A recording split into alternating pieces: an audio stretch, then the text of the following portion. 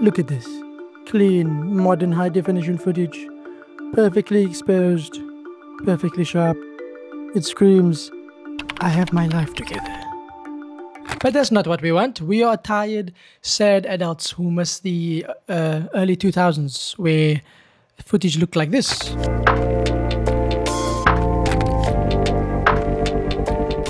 So instead of uh, facing our responsibilities, let's do that. Let's make new footage look like camcorders from the early 2000s.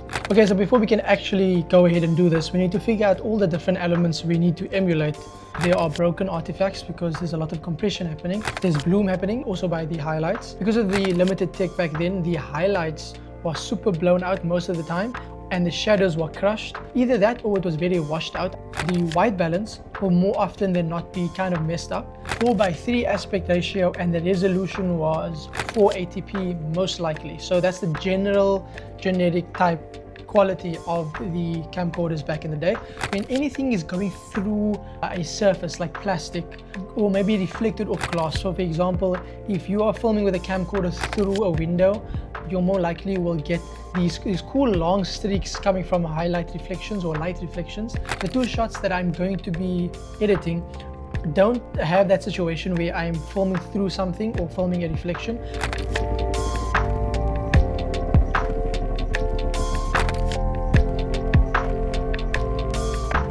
Okay, so the first thing we want to do is we want to create a timeline that matches the resolution or the quality of the early 2000s camcorders. So first thing we're going to do is we're going to create a new timeline. I'm going to call this tutorial.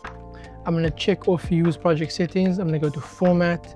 I'm going to change uh, from HD to custom. I'm going to go 640 by 480 change my frame rate to my country's 25 frames and create. And immediately we can see we're getting already already that 4 by 3 aspect ratio that I mentioned before. Okay so I'm just going to choose the footage that I want to use which is this one. It is this one and it is and this one. Yeah it's this one First thing we want to do is, as you can see, it's not sized appropriately. So I'm just going to zoom in here. There we go. And now we can finally go to the color page. Okay, so the first node we want to create is the correction node. And here we are going to blow out the highlights. We're going to crush the shadows, which is, like I said, are elements of camcorder footage. And I'm also going to mess with the white balance. So first I'm going to call this correction and I'm going to go to the log wheel of the primaries and I'm going to crush the shadows. I'm going to go to the highlights and I'm going to zoom in here to this one for my benchmark or there you go. I'm just going to blow it out just a bit. Okay, before I edit the white balance, I'm going to create a new node and I'm going to call this set because I'm going to add color so I can clearly see the effect of the white balance because I shot this footage in log so it's quite flat. So I'm going to go down to saturation. I'm going to change it to 80 maybe even 90 because I actually really want it to be like that poppy type camcorder footage. And you can kind of see I kind of messed up the white balance already or maybe this is just the quality of the light on the shot behind me I'm going to go back to correction and I'm going to add some green. There's either shifts of magenta or green in the messed up white balance of camcorder footage and I think I'm going to go with the green just to... There we go. Not too much, you don't want to overdo it. Okay, the next node is where the actual magic happens. I'm going to call this DMG for damage. I'm to go here to the effects library. I'm to search JPEG and watch how the footage changes.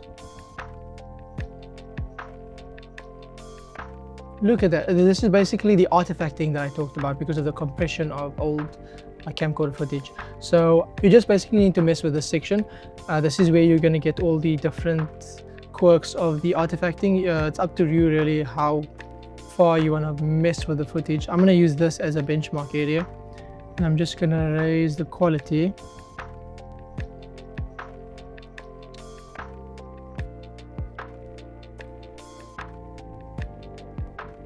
I think that works. Resolution is the size of the blocks as you can see here. So I'm just gonna make it all the way to one because I don't want to go too crazy with the artifacting. And then when it comes to blocked aspect ratio, it just basically changes the aspect ratio of the blocks. I'm gonna just show you here. I don't know if YouTube is allowing you to see this. Let me, okay, frequency scale is basically like a sharpness of each block or the edges. So I'm gonna do this so I can show you clearly what the aspect ratio is doing. You can see it makes it thin or it makes it long. I'm just gonna undo that. There we go. As you can see, especially in the dark areas, you can see all the artifacting happening. That is basically what we want. It's perfect. And also you can see here, it's almost like the anti-aliasing. I don't know exactly know what it's called. You can see by the edges, it's broken up. And that's exactly the effect we want to go for. Okay, in the next node, I want to create the bloom effect, which is a big part in contributing to the um, nostalgic or kind of ethereal feel of the camcorder footage. I'm going to go back here. I'm going to search glow and the main slide I'm going to focus on is spread because if you look at the examples of the, of the camcorder footage, a lot of the bloom is basically a thin or not super thin, but like a ring or halo around the light. So it's not like very spread like, let me, let me make it quite bright so you can see what I mean. Instead of spreading the glow, you want to bring it close. And that's basically what bloom is. So I'm going to make it a bit less intense. And remember, it's fine if it blows out because that's another thing. Uh, blown out highlights are part of the effect. Now I zoom out, you can see we have some light haloing or like a ring of bloom around the lights. That's basically what we want. Not not too much. Sometimes it's a lot, but most of the time it's it's kind of like this. Okay, now what I want to do is even though the effect of that nice long streaks, which is a which is basically a defect, of the camcorder footage. Uh, when you're filming through like see-through plastic or glass or you're, or you're filming a reflection of light as you can see here, I just want to show you how to replicate that long streak effect. So I'm going to make a new node. I'm going to call it yep, streaks. I'm going to add another glow. And with this one, I'm not going to focus on spread. I'm going to first focus on H slash V ratio. I have no idea what this is. I just found out the, how, the, how useful this is through experimentation. So I'm going to bring it all the way down. And as you can see immediately, we have the exact streaks that uh, show up in the camcorder footage. If you want to make it like that bluish, purplish shade that, uh, that it normally shows up as, you can go to color filter and you can just mess with the color here, but I'm going to keep it white for now. If you want to mess with how long it, uh, the streaks are, you can use spread if you want to mess with more settings, you can make it brighter here with gain. Gamma, I think, changes how much or how much of the bright areas are affected. I'm kind of liking this. Like, I might even leave the streaks even though it's not really uh, correct. And when it comes to the shadows, I think I'm going to go back to correction. I'm going to go to curves, go to the third last uh, Lum versus sat. It, it toggles the saturation of dark and light areas. So for example, if I click on the black square, I can change the saturation, we zoom in here, of the dark areas. You can see if I bring it up, saturated, if I bring it down, desaturated. I'm to saturate it a bit because that's another issue I've noticed with camcorder footage.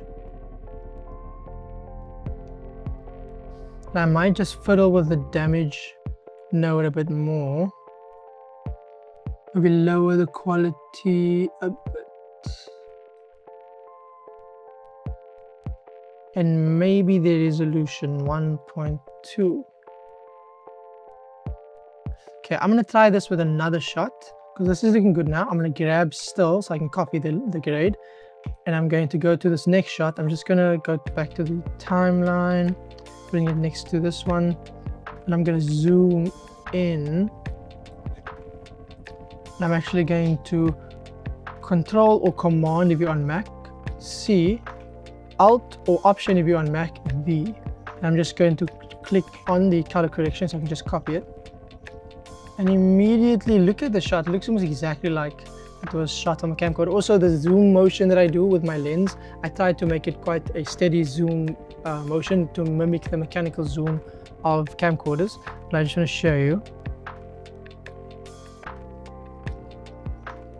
Gonna go back to the color and I'm just going to go to gallery. You can see all my experiments of the looks. I'm gonna right click and apply the grade. And immediately you can see we do not need the streaks here. We don't even need the blue with this one because as you can see, we're shooting towards the sun. I might even make, we'll go back to the damage node in this particular situation. And I might just make the resolution back to one and make the quality a bit more. Like all you need here is some zoom sound effects, some mechanical camcorder zoom sound effects, and maybe uh, add some sound, actual diegetic sound of the leaves and stuff and make and compress it. And then you would definitely have a realistic camcorder emulation. I'm gonna go back to correction and I'm gonna mess with the white balance, make it a bit more warmer. Like some old camcorder footage as well. Very nice.